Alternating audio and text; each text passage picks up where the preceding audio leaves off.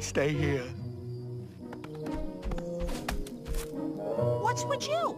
You never miss an opportunity to go gallivanting along on one of the professor's science expeditions. I don't deserve to go.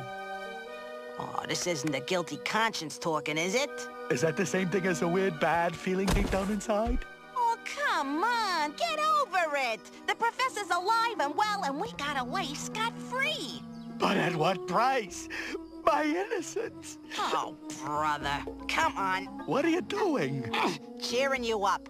And nothing cheers you up more than science. Target, I don't think the professor would want me touching this stuff. Besides, I don't know what to do anyway. What? You pour this thingy into that doohickey. Or that doohickey. Whatever.